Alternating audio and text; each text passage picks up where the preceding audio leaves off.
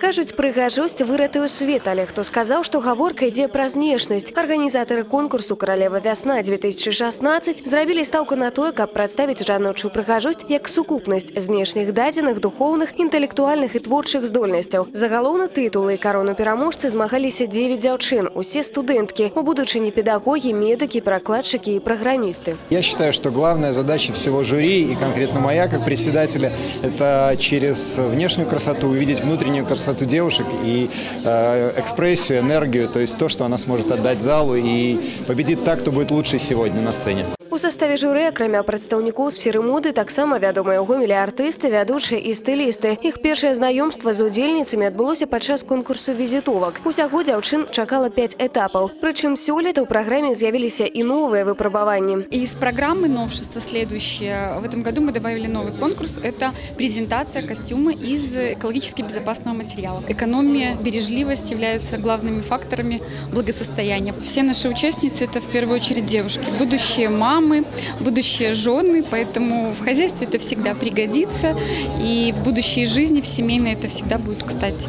Мадэлі адзення дзяўчыны стваралі з паперы, мешкавіны і нават пакетаў для смецця. Са штодзённых матэрыялаў атрымаліся сапраўдныя шэдэўры. Такія, як, напрыклад, сукенка, створаная з больш як 800 папяровых руж. Не менш уразіў і творчы конкурс, вакал, харэаграфія і нават тэатральнае майстэрства. За адзін нумар свой сцэнічны вобраз канкурсанткі маглі змяніць некалькі разоў. Галоўная ж інтрыга, хто з іх варты тытула каралева вясна, раскрылася ў самым канцы вечара. Трэцяе месца заняла Аліна Гапоненка, студэнтка беларускага дзяржаўнага універсітэта універсітэта транспарту. Першай віцэміс стала Марыя Тарапына з універсітэта імя Францыска Скарыны. Карону пераможцы атрымала Галіна Касьянова, студэнтка медыцынскага універсітэта. И «Королева весной» 2016 по итогам, как вы видели сами, долгого жюрийства и судейства признана участница номер...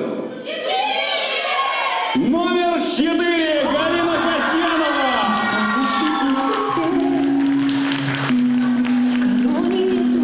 Дзяўчына вучыцца на чацвёртым курсе. З дзяцінства прафесійна займаецца харэаграфіяй. Аднак у будучыні марыць стаць лор-урачом і дапамагаць людзям. Честно, я не ожидала. Я участвовала первый раз в таком конкурсе. Я просто пришла получить удовольствие.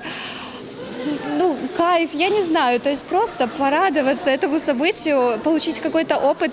И, честно, я не ожидала, я даже не контролирую сейчас свои эмоции. Здесь, на самом деле, очень отличная атмосфера. Мы сдружились, и было очень приятно работать. Гісторыя рэспубліканскага конкурсу каралева вясна пачалася больш як 15 гадоў таму. Фіналісткі мінулага зараз вядомыя ў Беларусі і рассіі актрысы, спявачкі і ўладальніцы тытулаў прыгажосці сусветнага ўзроўню. Пераможца сёлетняга абласнога этапу Галіна Касьянова ў красавіку прадставіць наш рэгіён на рэспубліканскім этапе і, магчыма, у будучыні яшчэ не раз заявіць пра сябе. Ганна Кавалёва, Максім Славін, тэлерадыокампанія Гомель.